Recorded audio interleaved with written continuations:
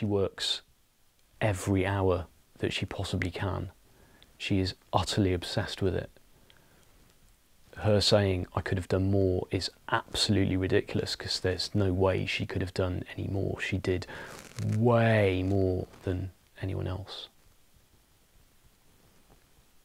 And so she completely burned out on it. And so here's my question for you What advice would you give her? Faced with somebody in that situation who was so massively burned out on it all, what advice would you give her? Following on from that,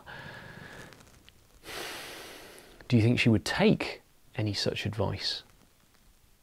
You know, watching that clip, there was a husband who was stating quite clearly to her that it wasn't her fault, that she didn't make the drug, that she wasn't the one that got all these people hooked on it, she didn't kill that kid. Um, you know, everything that she's doing is the, the total opposite, and yet she seemed to be taking it all upon herself. Advice in these kinds of situations is it, it, it's not it's not doesn't really amount to much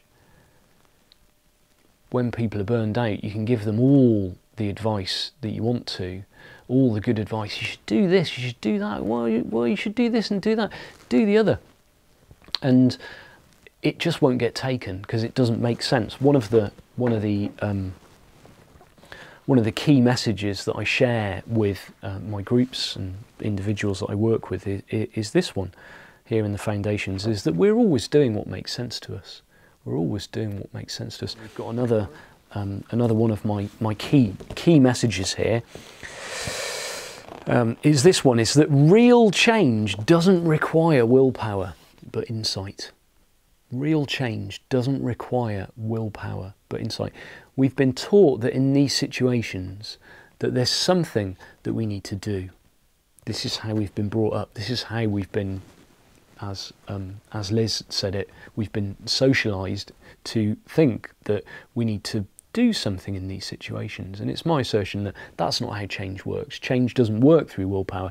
Change works through insight. Change works through getting a completely different perspective on something. So that, going back to the first one, we're always doing what makes sense to us. So that what makes sense is different.